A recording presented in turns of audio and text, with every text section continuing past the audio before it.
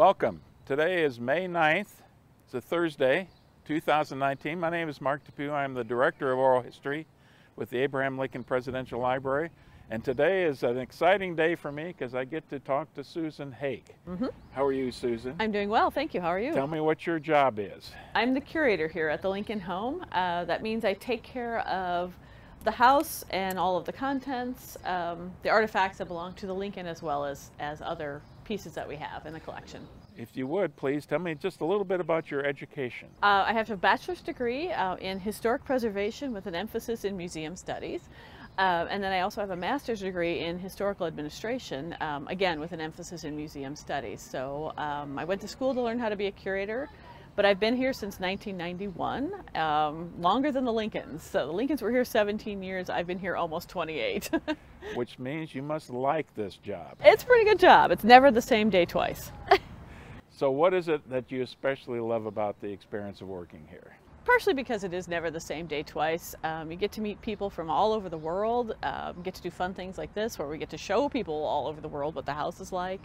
Um, and Lincoln's a pretty interesting guy and uh, his life in Springfield is not something that a lot of people know about. They know about President Lincoln, they don't necessarily know about Lincoln, the father, the husband, the local lawyer. And as we go through here, it's going to be a lot about the house. Yes. But it's going to be just as much about the home of Abe and Mary Lincoln. Right. And that's the exciting part for me to learn some of the backstory about them as well. But let's start with a little bit about the, the history and the origins of the house itself. The first part of the house was built in 1839. It was built as a one and a half story cottage. So that full second story you see was not there.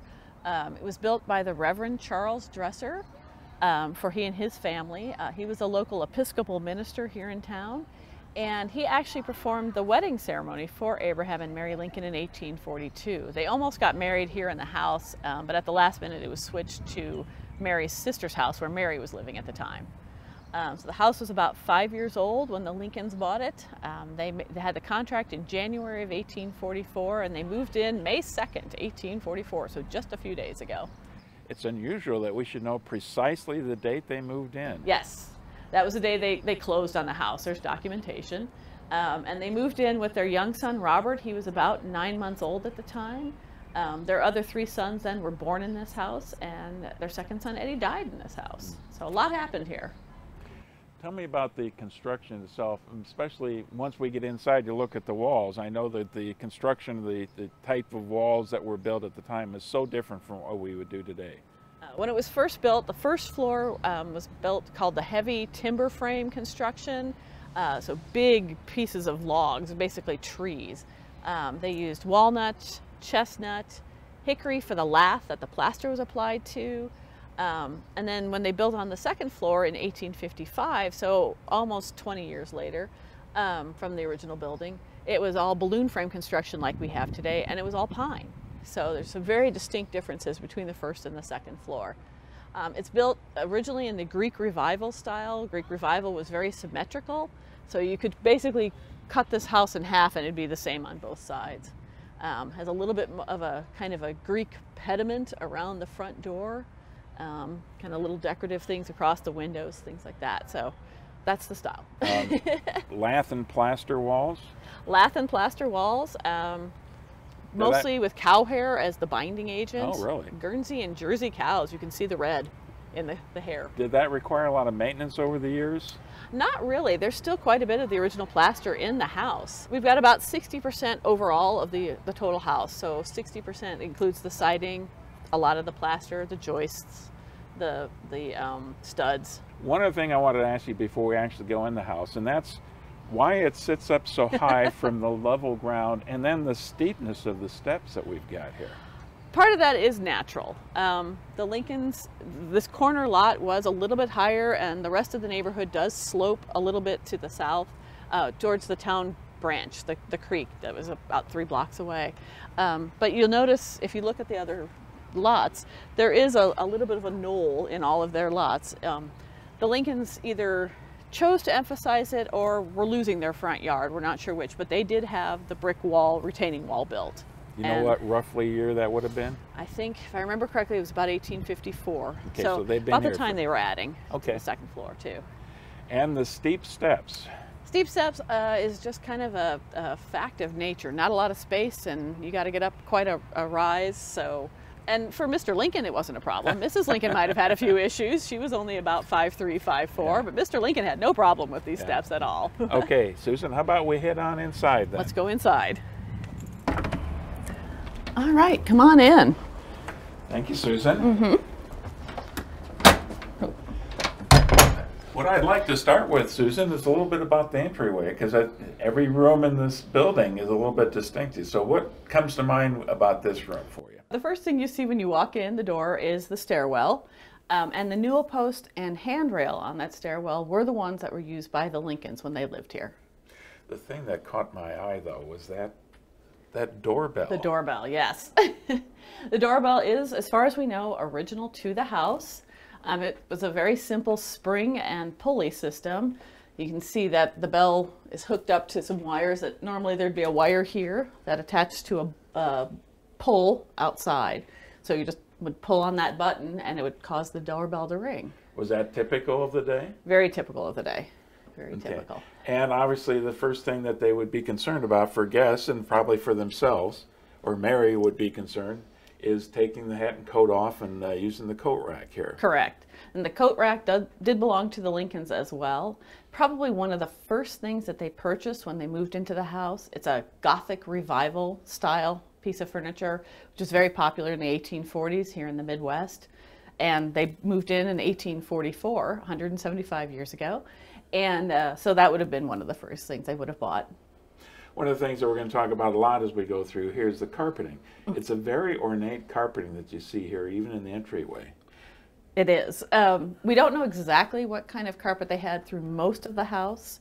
Um, we do know the pattern in the, the parlors, but the rest of the house is just what was popular at the time. I notice on the hat rack you've got Abe's hat. well, uh, not exactly his hat, but the right size, the right style. Yeah, you couldn't afford his real hat. No, we could not. would the ladies have been wearing hats and put their hats there as well? They would not. Polite society, you would have kept your bonnet on. Usually it was a bonnet, something that came around your whole face. Um, occasionally in summer they'd have a, a, lighter hat, like a straw hat. Um, but they would have put their shawl up there if they wanted to.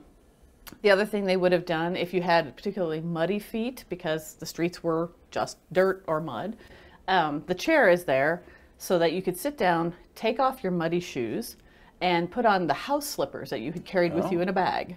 So I bet Mary especially was concerned with that happening. She was very, very concerned about that, especially with some of the gentlemen and their big muddy feet. Yeah. So. Okay. Well, let's move on to the parlor. All right, let's do that. Susan, front parlor. Before we get into any details here, I, have got a couple general questions. Sure. First of all, how do we know that this is relatively accurate to what the Lincolns would have known at their time? We've got a couple of sources that tell us a little bit about the house. Um, the one thing we don't know about for sure are colors. But we do have a, a drawing from Frank Leslie's illustrated newspaper that was done right after Mr. Lincoln was nominated in May of 1860. And that shows what the two parlors look like as well as the sitting room across the hall. We also have one photograph taken the day of Lincoln's funeral of the back parlor that gives us a nice clear view of the wallpaper. So. Okay, uh, what I'm looking at here, I mm -hmm. don't see the wallpaper illustrated, at least what right. the design of the wallpaper would be. We think the uh, artist ran out of time because this is pretty detailed wallpaper. But like I said, we've got the photograph from 1865, and we know that the tenants hadn't changed the wallpaper at that point. Uh, so we're pretty sure this is what the wallpaper looked like. There's flecks of gold in this wallpaper. There are flecks of gold. It's a little bit nicer wallpaper. Um, wallpaper was very fashionable, had been for over 100 years. A lot of it was coming from France or China. Those are the two main exporters. Um, and have this little, the little flecks of gold in it helps to reflect the light. The lighting's pretty low in these days. So anything you can have to help reflect the light a little bit more. So is it just gold paint or is it gold leaf?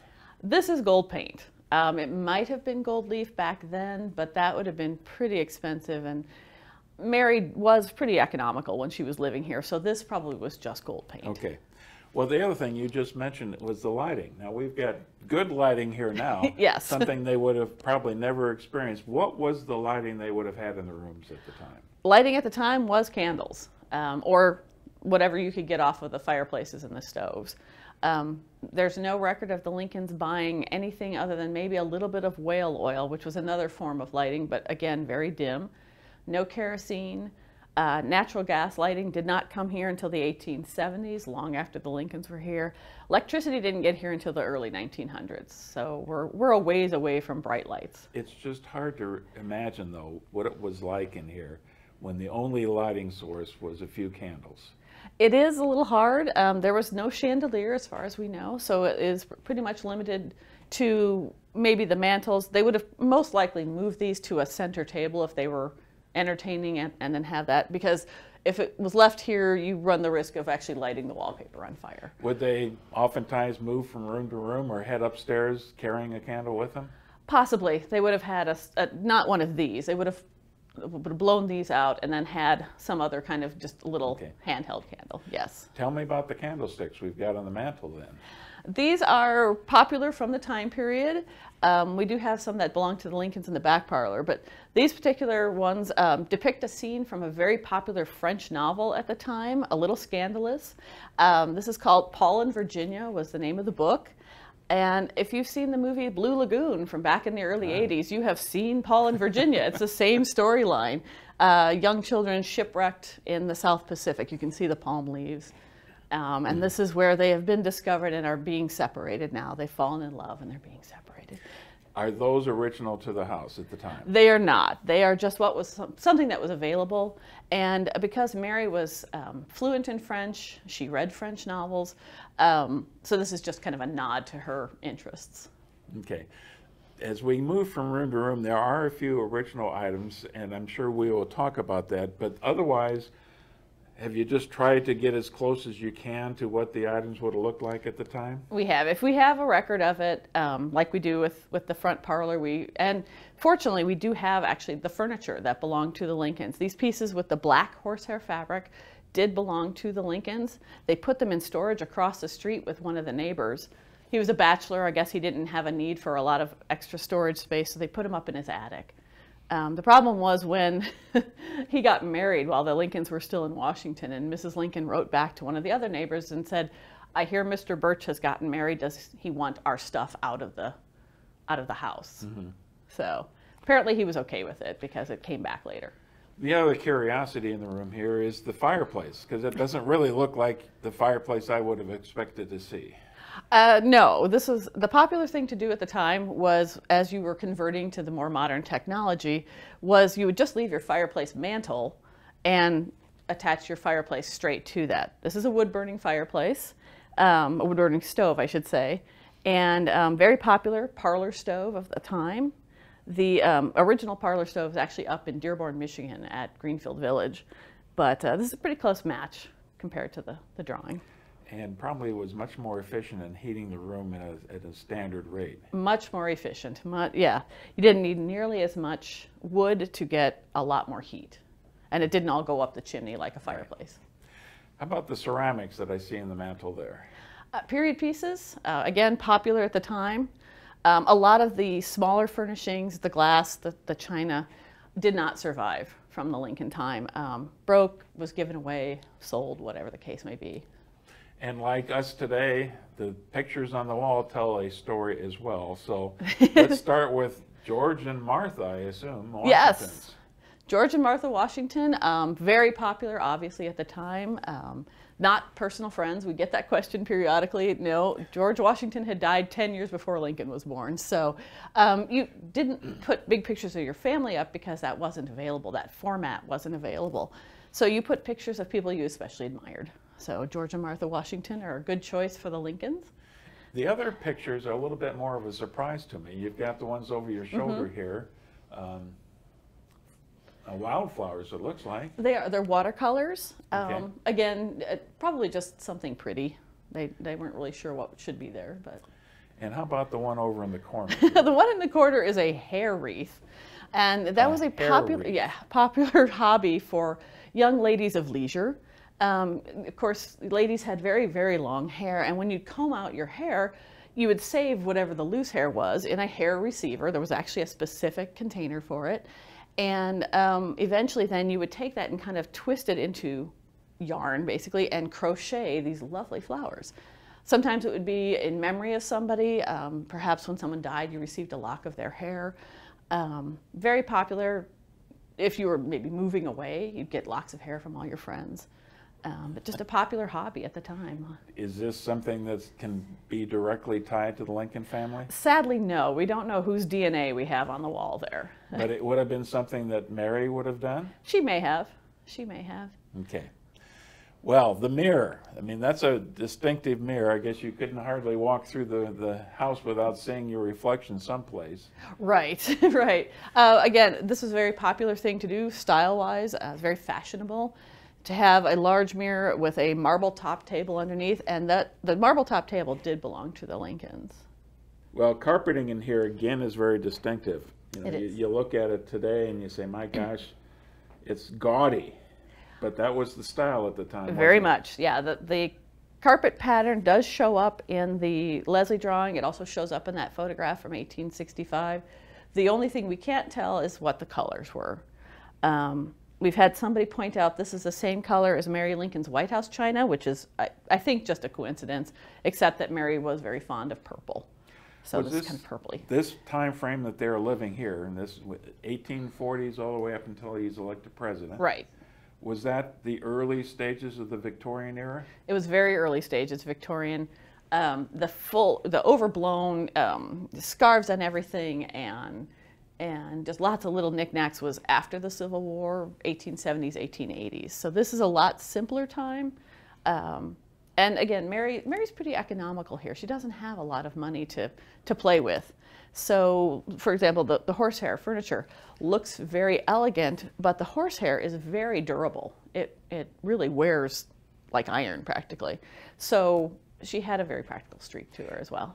Yeah, I guess it's, I don't know the first thing about horsehair furniture. It looks awfully smooth in terms of the covering of it. it. Obviously, the, the craftsman would have worked with it quite a bit. Yes, yes. It's well, it's very smooth in one direction. If you go with the nap, it's very smooth. If you go against it, it's like Velcro.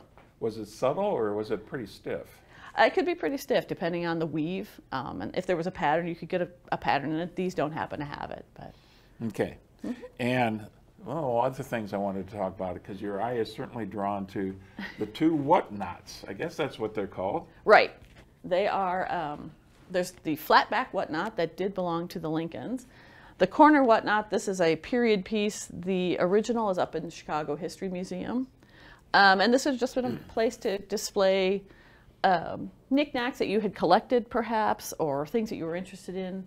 For example, we've got William Shakespeare and Charles Dickens on this shelf. We've got Robert Burns in the corner. Um, those were authors that the Lincolns liked to read. Um, Lincoln actually got to go hear Charles Dickens speak when he was doing his American tour after A Christmas Carol was Really? published. We don't know if they met.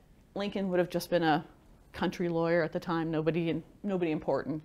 So, um, but we do know he went to hear the, the talk.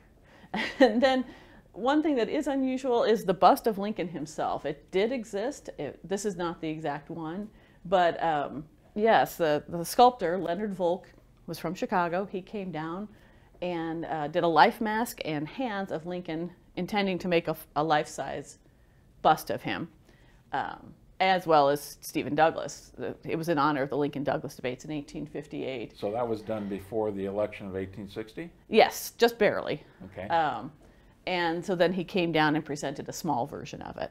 He was, I should say, uh, disclaimer, Leonard Volk was Stephen Douglas's brother-in-law. So it was partially a family thing, but also because he admired both people. And what are the books on the whatnot? Uh, these are books from the time period. Uh, there's Harper's Weekly, um, Gibbon's Rome, which was a travel log of going to Rome and Italy.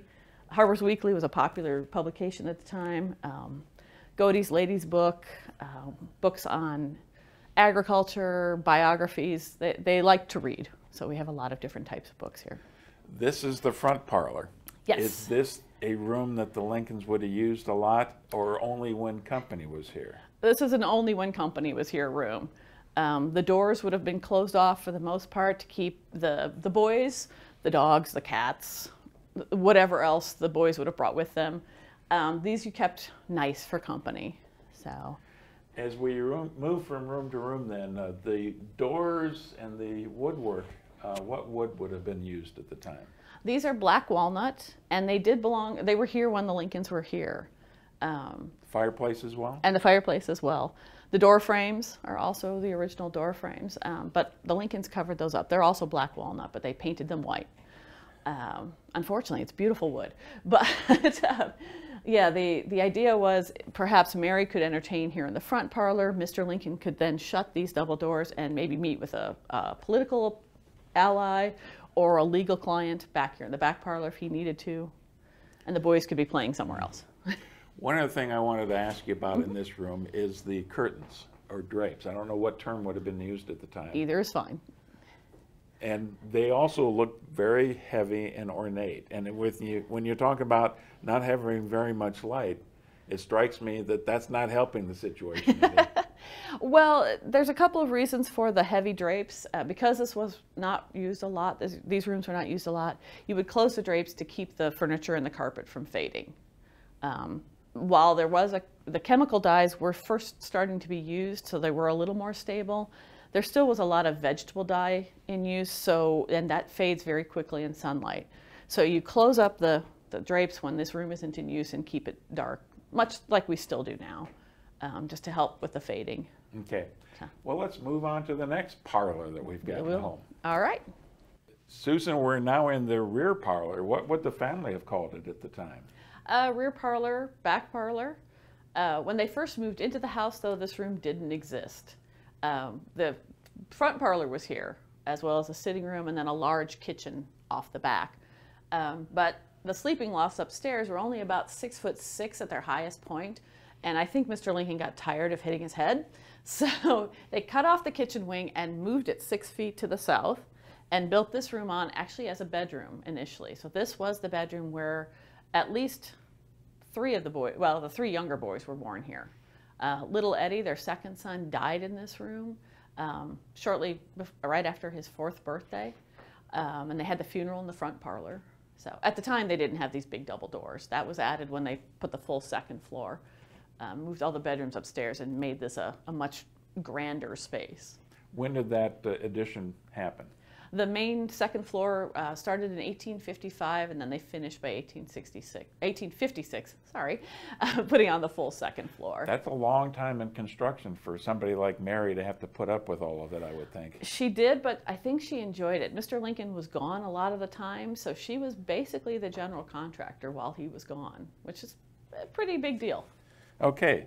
Well, one of the things that you mentioned when we first went through here was an existence of a well. There was a well, like I said, when this, this room wasn't here, the well was kind of back in this area. There was a porch, and um, you'd walk out from the kitchen into that. This was the actually outside door, so the well was kind of back here to get to that. It's still there. Um, it's filled, but it's still there. And again, candlesticks we're going to see in every room. Are there anything Right. distinctive about this collection? These three candlesticks did belong to the Lincolns. Um, you'll notice they're a little bit plainer than the ones in the front parlor, but still nice. I mean, they still have the crystal dangly uh, pieces. Um, they're brass with a marble base, so they're, they're still nice. They're just not maybe the absolute top of the line. Well, here's a peculiar question. I wonder how long the candlesticks would last because you would be using candles an awful lot. They must have gone through a lot of candles during the year. They did go through a lot of candles. The um, the lists uh, from the, the local stores, I almost oh probably every two weeks maybe they were buying candles. okay. So.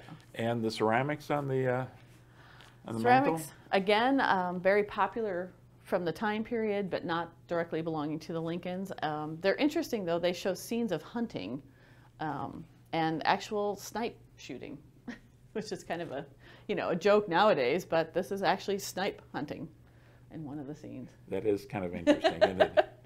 We talked about the curtains in the last room. Tell me about the valances because those are also very ornate.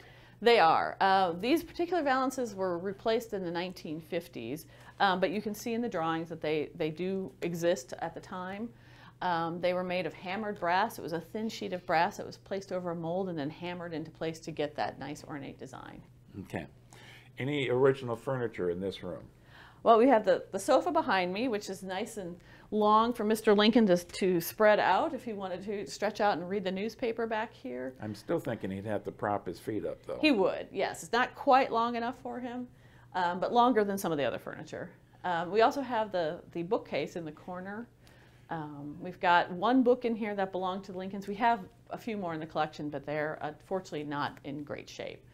Um, but again, lots of different topics. Um, weekly or monthly newspapers, Godey's Ladies Book, like I said, um, travelogues, biographies, Shakespeare, Dickens. What's the original book that you've got? We've got The Life of Black Hawk, it's called. It's uh, Chief Black Hawk that Lincoln was um, a captain in the Black Hawk War, so that's probably the appeal. Wanted to learn a little bit more. He was always very interested in learning about his enemies. Um, he, you know, famously said, "Keep your friends close, keep your enemies closer." So he liked to learn about other people that he was maybe opposed to for some reason. Mm-hmm. I noticed that there is another drawing here that's in front of this table. Mm-hmm. So we know roughly what this room would have looked like as well. Right. Um, this room, the drawing here, you'll notice there's a few things that we've added. We've added a central table. That was a very fashionable thing to do at the time. Um, the Lincolns had had a party the night before these drawings were done, so we think maybe some of the pieces had been pull, pushed to the walls or taken out just for more space. Okay. The fireplace is, it doesn't look operational now, was it at that time? it was. Um, again, well, the drawings were done in May of 1860, so the fireplace, in theory, may not have been in use at that point anymore. So they had what's called a fireplate, um, and that just keeps things from falling down the chimney and into the house, um, keeps the drafts down as well and that's cast iron and very heavy, so we don't take it out too often. Tell me about the items that are on the table. On the table, we have a reproduction of Lincoln's lap desk. We do have the original lap desk. Um, it's a very popular uh, item that we loan to a lot of different locations. So we had a reproduction made um, so that we could loan the original out. We've got some papers from around around Springfield and actually mostly Morgan County, so Jacksonville. Um, again, more books that they liked, some of the newspapers from the time period.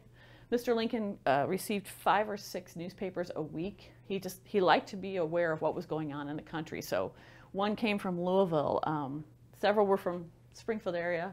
He actually owned a German language newspaper from here in town. Uh, of course, the German population was very high. Um, they were mostly up in the north side um, near what is now the state fairgrounds. Um, where a lot of them were living, and there were some in the neighborhood as well that he he was friends with. You mentioned that he had a, a few or a couple from the Springfield area, so I assume one would be a Democrat paper and one a Whig paper. Uh, yes, he had both the. As far as we know, he had both the um, Journal and the Register. Um, delivered. Obviously, he leaned more towards the Whig or the Republican paper eventually, but yes, he liked to he liked to read as much as he could on on all sides. Mm. And what's the box that I see on the table there? Oh, the box is his quills, and um, of course that is your only main writing instrument. Um, if you were fortunate, you would have a steel pen nib, but most day to day was just done with goose feathers. And I want to go back to your discussion about the lap desk. Yes. And I guess I wasn't aware that they had such a thing at the time. How would that be used? And it sounds rather obvious, but how would it be used? Well, much like a laptop today, um, it folds in half. You, obviously, you could put the papers underneath um, to store them. There's also room for quills. There's room for an inkwell, um, wax seals that you could have used to seal it up. Fold it in half and stick it in the saddlebag and go on your merry way. So would they would they use that when they're traveling or would they use that at home rather than a table or a little bit of both? A little bit of both. Um, Mr. Lincoln was gone three months in the spring and three months in the fall traveling the 8th Judicial Circuit. So he probably just had things that he just always kept in here with him, legal papers and things like that. So sometimes maybe if he was going to work at home or meet with a client here, he could just pull out the laptop, laptop, lap desk and start working with the client. Boy, it's tough not to convert to modern It days, is. It's it? very hard sometimes. okay, one other thing I definitely want to ask you about in this mm-hmm. room, and it's so distinctive, and it surprised me to see it here, and those are the globes. The globes. They show up in the drawing. There's also several newspaper descriptions from the time that talk about the, the two globes. And one of them is terrestrial, back in the corner, that's the land one. And then the other one is celestial, so that is um, the stars. So, well, you can see them. They were, these are not the Lincoln's globes. We have no idea what happened to those, but uh, these were made in London in 1800. Um, and an interesting thing on the terrestrial globe, because they were made in London, they call the Atlantic the Western Ocean because it's west of London. That is interesting. And it, you know, it's interesting too to, to know that they had a celestial globe. They did. And here's my thought on it. You've got candlelight inside. You don't have all these lights outside that are drowning out the night sky. Right. The, the Lincolns were very interested in natural sciences. Um, and I think they were really trying to, to teach their boys a little bit more. I don't know how much natural science they would have been picking up in their schooling. Um, so they like to give them all the advantages that they could. So a celestial globe that would teach you um, the different constellations would be a nice thing to have for mm-hmm. your for your growing family. Okay, Susan, let's head to the dining room. Let's go to the dining room. Susan, the dining room. Now, it might sound obvious, but how would the family use the dining room? Dining room, originally when they bought the house, this was one big kitchen with a fireplace on this wall over here. And like I was saying in the back parlor, um, they wanted to put a bedroom on here, so they cut off this, and you can see the cuts in the, the joists over here, slid this over. Um, you can still see the remnants of the two outside doors. Uh, that would have led to those porches um, which is why this is such a long window. It's the only window that does that in the house. But uh, when they added the second floor, Mary then later added a wall in between, so she got a formal dining room, which is something she would have been used to growing up in a lot more luxury and a lot more wealth in Lexington, Kentucky, versus Abraham Lincoln in his one room log cabin 180 miles away. Um, so the dining room would have been used pretty much every day. Um, it's hard to imagine because the railings do take up so much space, but this would have been a very nice sized dining room for a family of five. Um, they would have occasionally had visitors for dinner, but generally you did your visiting after dinner. Um, would the boys have their breakfast here as well? They might have. They probably would have had something here. Um, there was a small table to eat in the kitchen, but it would have been very crowded. So they may have had breakfast in there, but most meals would have been in here the thing you can't avoid as we go through here, and it's obvious it's obvious why they exist, are the railings. I wonder right. if you can tell us a little bit about the purpose and the function of the railings. Railings were actually put in by the state of Illinois in the 1920s, the original set, um, because there were so many visitors coming through and um, things were starting to get pretty worn out. Um, so they did put railings in. The state then upgraded them in the 1950s. Uh, they did a, a, huge restoration in 1952 to 54 and opened up the second floor for the first time. Prior to that, you just did a front loop and out the door. Um, so when they added those railings back in the 1950s, they did a very clever thing. In the bases, they ran the heating system. And then in 1987-88, when the Park Service did the, their last restoration, we maintained that, that setup um, adding air conditioning. So the first time this house had air conditioning was 1988. How about electricity? When was electricity brought into the house? First electricity that we can document was 1899. They did the doorbell of all things. And then later on, I think about seven, eight years later, they added a few more things of electricity. Um, fully wired probably in the 1920s, thereabout, yeah. to get everything in. That would be quite a challenge for an old house like this. It would have been. Um, yeah, we can still see some of the original holes in the walls. Um, now in the 87, 88 restoration, to maintain as much of the original plaster as we could, we took the siding off the outside and came in from the outside to do any kind of upgrades. Let's go back to the 1850s and wonder sure. if you can tell me about the table and chairs that we've got. Okay, uh, in 1850s, the Lincolns would have sat around this table, possibly. Um, it is a gate leg table in that the this is only about two feet wide, and then the, the wings come up, can and so we, those can drop down. Can we peek under the tablecloth? Oh, uh, we can chance? try. okay. So you can see the seam. So these the leg would have swung like a gate to close, and then giving you a little bit more room if you needed it in this room. The chair, these two chairs did belong to the Lincolns as well. Um, they're called fancy painted chairs or the, the brand name at the time was a Hitchcock chair because there was a Hitchcock factory in Massachusetts, I believe, that um, made this, this type of chair. These are not specifically Hitchcock, but they are very similar in style. And they're painted with, again, a little bit of gold leafing or gold paint.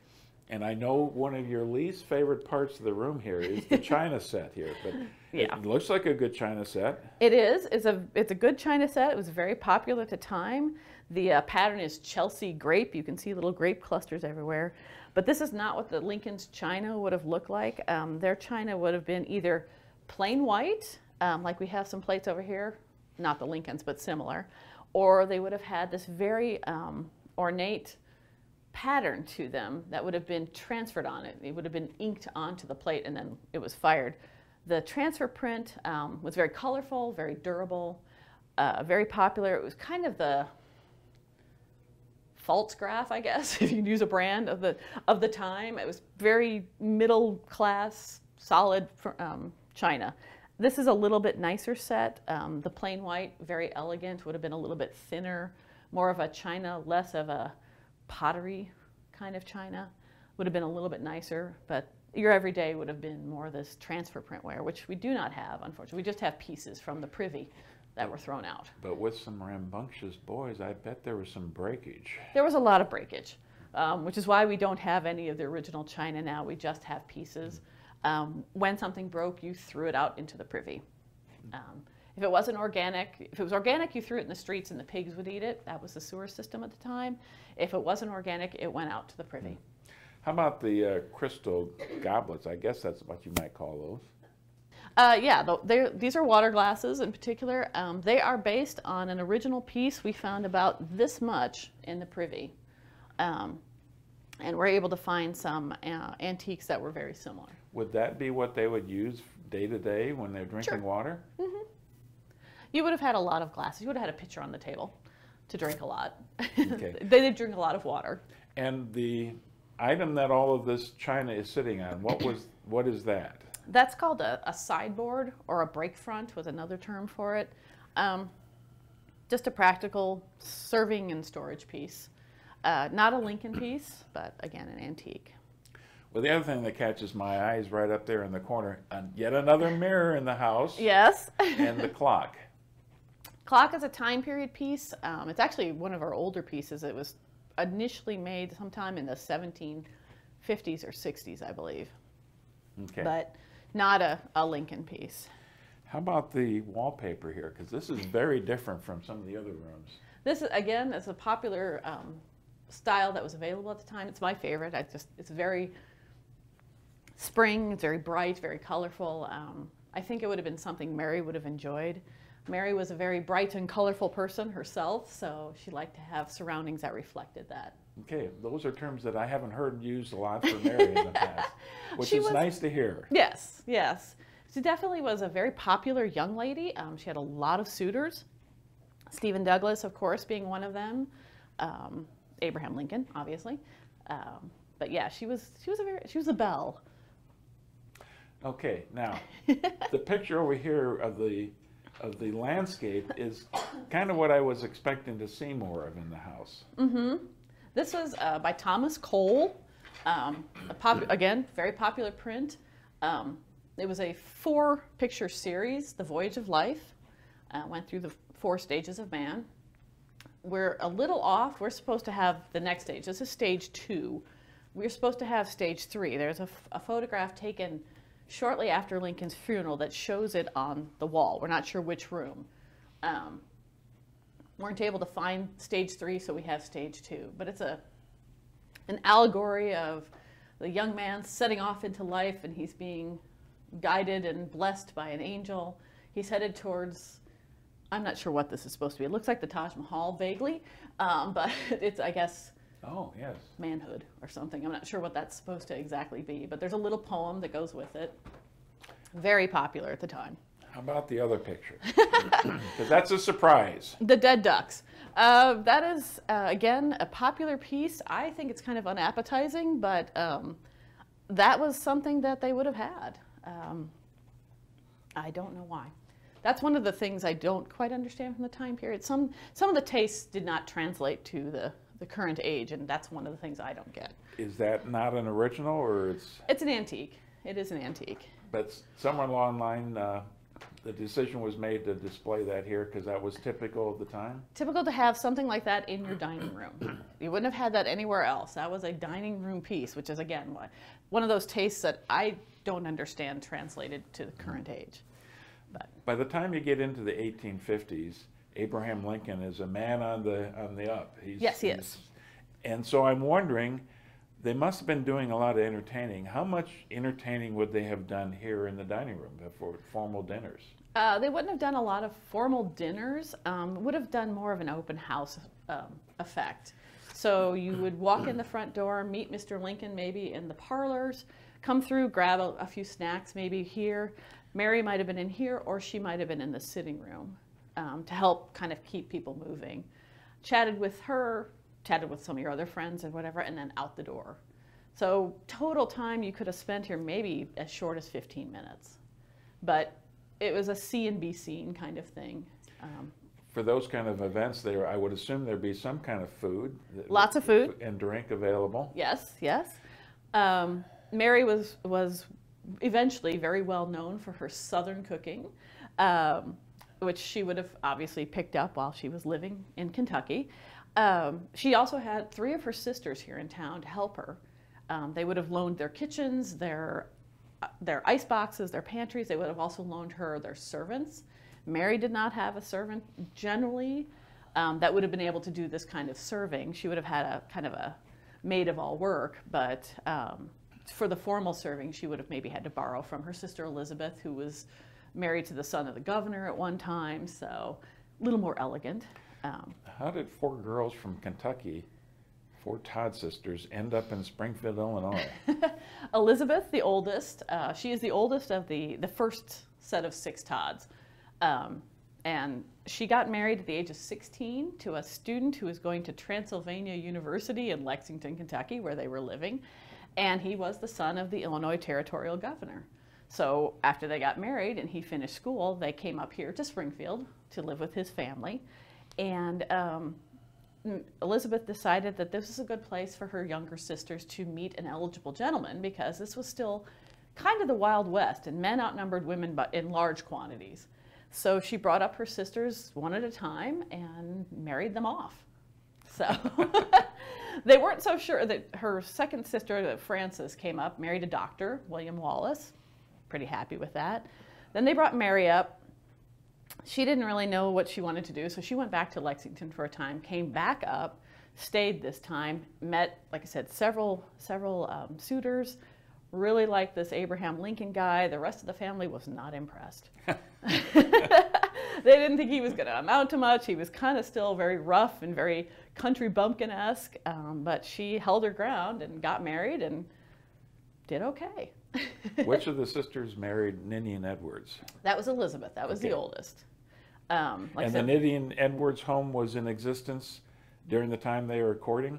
Yes, yes. They courted at the Ninian Edwards home, which was on the corner of Second and Edwards. Unfortunately, no longer there. Um, but uh, yes, that was it was a very popular social spot in Springfield. Um, the Edwardses were known for their entertaining, um, and Lincoln actually came to a party there with his new law partner, um, which was John Todd Stuart, a cousin of the Lexington Todds, and um, so met Mary there, and he gazed on her. What was the quote? Something about he gazed on her as if bewitched. I think is the quote from Elizabeth.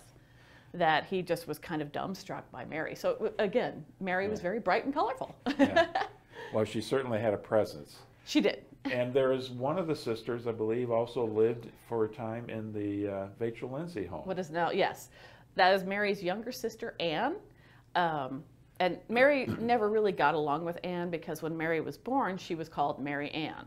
Then when Anne was born, she had to give up that part of her name, and she always resented Anne for that, um, which I find interesting. But anyway, Anne married Clark Smith, who was a, a, uh very well-to-do uh, store owner, businessman here in town, and they yes, they lived over on Fifth Street in what is now the Vachel Lindsay State Historic Site home. Okay. I think it's time now to move on to the sitting room. We'll go to the informal parlor or the sitting room. Yes. Susan, we're in the sitting room now. It strikes me now we've got a front parlor, a rear parlor, a sitting room. They all kind of look similar to me. How was this room used? This room was used a lot more often than the parlors. This was the informal side of the house where the family would gather after dinner. Um, we know Mr. Lincoln liked to stretch out on the floor. He would probably be reading a newspaper or a book aloud for the general education of the room. Um, Mary could sit over there by her sewing table. That's the best light in the house. It's a southern and a western exposure. Um, so she could do a lot of her sewing with three boys and Mr. Lincoln at any one time in the house. Lots of buttons lost, lots of torn knees, uh, holes in socks, things like that. So she could sit over here and do a lot of her sewing. Um, if they had people here visiting, Mr. Lincoln maybe wouldn't be on the floor, but they could entertain in here with really good friends.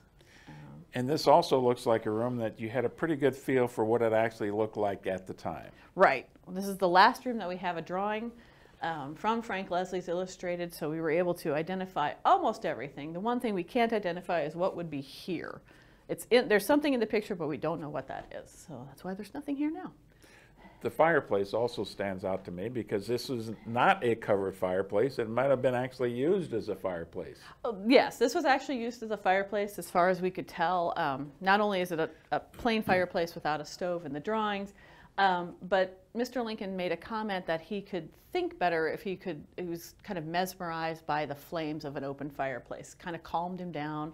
Um, gave him a chance to really think things through. And that was a very important aspect of Mr. Lincoln's personality one of the other things that jumps out at you is you're standing here looking at the room, looking at the big picture, the wallpaper, the carpeting.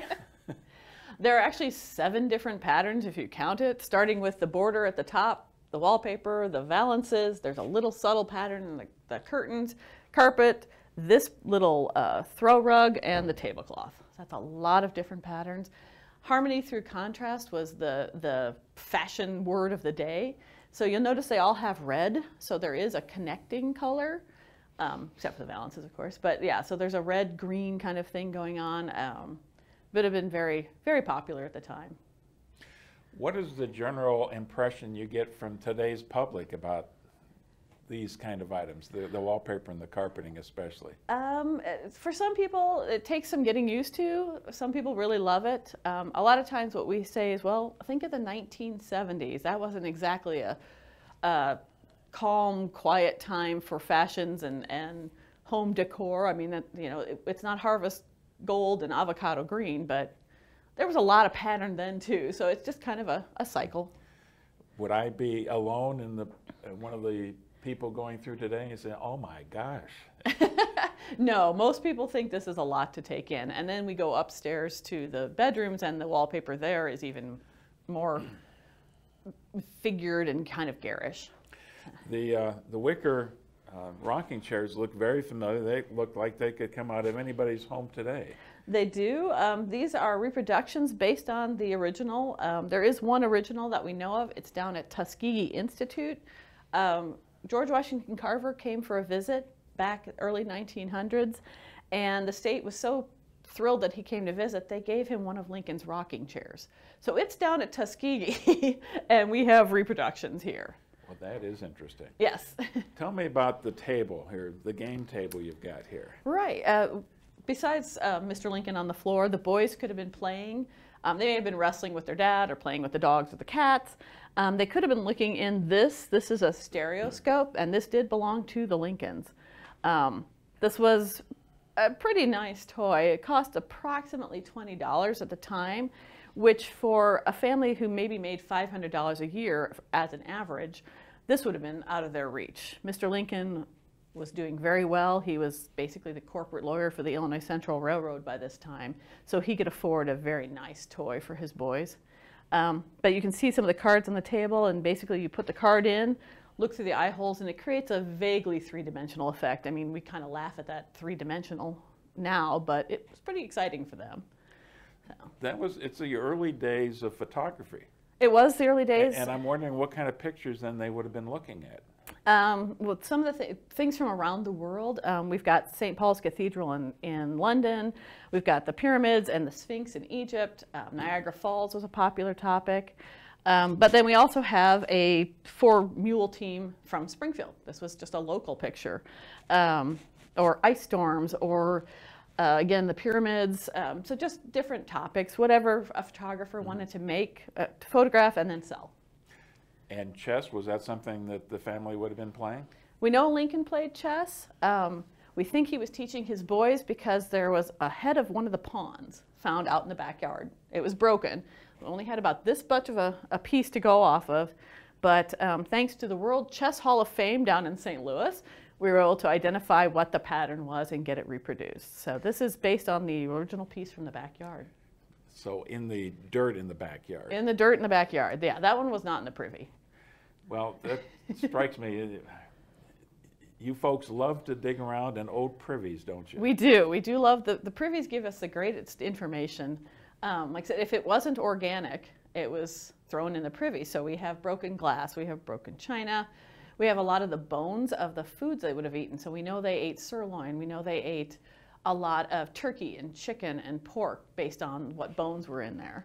Um, some of the seeds that didn't necessarily um, disintegrate. So um, there's raspberry seeds and gooseberry seeds and different things like that. So we can learn a lot about their diet from what's in the privy. And here is another room where a mirror plays a prominent role. it was a, a, was a Lincoln piece. It is a Lincoln piece, and um, partially because um, it helps reflect the light. So you could put a candle in front of that and you get double the candle power. Um, may have helped reflect some of the ambient light in the room for Mary while she was sewing. Um, would they sometimes then have a mirror over the fireplace as well? Uh, some some houses would. The Lincolns did not for whatever reason. Um, and this is another one of those where this candlestick or this type of candlestick would not have been left here with the candles because it would have clearly set the wallpaper on fire. You would have taken that off and put it on the, the table to help you with, you know, playing checkers or chess or whatever. How and much, it's also, oh, go ahead. How much time would Lincoln spend in the room then? Um, most evenings. He probably would have been here. If he didn't have some other activity, this would have been where they would have gathered just as a family. So he and the boys together and Mary would all be in the room together? And Fido and a couple of cats and maybe one of the neighbors if they were stopping by for a few minutes. Um, this room also is a very important room at Christmas. This is the mantle that they would have hung their stockings from. So no Christmas tree that we know of, but Santa did come and visit and you can see there's still some nail holes. Oh, in the mantle where they would have hung their stockings. Would this be about the extent of what Christmas decorations they would do? Most likely. Um, there wasn't a lot of commercial decorations available. It would have been um, natural things, so pine garlands and cranberries and, and uh, maybe some holly sprigs. When you say they were hanging stockings, they're actual stockings or they purchased something specifically for the season? No, they would have probably um, stolen them from their mother. Hers would have been the longest um, because lady stockings, of course, had to go all the way up to about mid thigh. Um, so that would have been lots of room for all those goodies. Um, dad's stockings, you know, they're too short. They don't want those. So yeah, it would have been some sort of stocking that they borrowed from mom. I'm sure she was thrilled. and it does strike me it has the best light because of its position in the house and, and the direction and all. Would this be the room then that Lincoln would do a lot of his reading?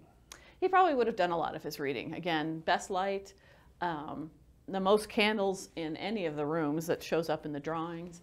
So uh, yeah, very likely would have been the room he spent more time in. I think you mentioned the kind of books that uh, Abraham liked to read. Mary had the same um, tastes in reading? She had similar tastes. Um, she was a little more prone to novel reading. Um, so, like I said, French novels. She could read French fluently, um, but she also liked biographies um, and some of the the heavier tomes um, that Mr. Lincoln may have read, but uh, maybe not all of them.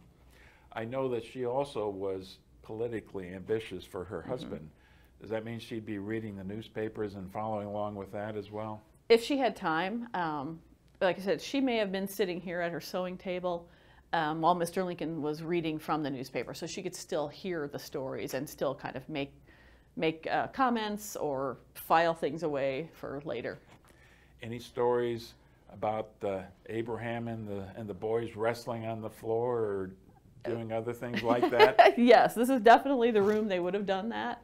Um, Mr. Lincoln is, for trivia buffs, Mr. Lincoln is the only president in the Wrestling Hall of Fame um, due to his skills mostly at New Salem, but he, he still kept, kept it going a, a little bit with his boys. Um, so you can imagine this could be a very noisy room. If Mr. Lincoln and one of the boys is wrestling on the floor, you know the dog would be barking and the cats are probably scattered to the four winds and, and Mrs. Lincoln would either be cheering them on sometimes or yelling at them to stop it, you know, a lot going on in this room. You mentioned the dog a couple times. Fido, is that the actual name of the dog? that was the last dog they had here. They had dogs throughout their time here, but Fido is kind of the most famous. Um, he's the only one we have a photograph of. Um, we don't know when that photograph was taken, but um, yeah, there, he was a, a yellow mutt is the best description that we have of him. And he looks kind of like a, a mutt in the picture. There's no discernible breed visible, but apparently a very good dog, very loved dog. Very good. And the picture on the wall here. Oh, okay. The picture on the wall is was chosen because in the Leslie drawing you can just see a horse's head. So this is a picture with horses. Um, turns out it's a very famous painting in Great Britain. The gentleman who painted it, the original, um, was well known throughout Britain for his portraits of um, he and his father both portraits of like racing horses, the famous racing horses, steeplechase, things like that. That's very popular in Britain. Um, so this is one of his first where he doesn't just have the horse. He's created kind of a scene uh, of an English barnyard. So horses, chickens, roosters, ducks. There's a cat on the horse's back, on the dark horse's back. Um, a couple doing typical activities that would be going on in a barn. So a fun painting for all of the family to find something of interest. Something of interest, yes.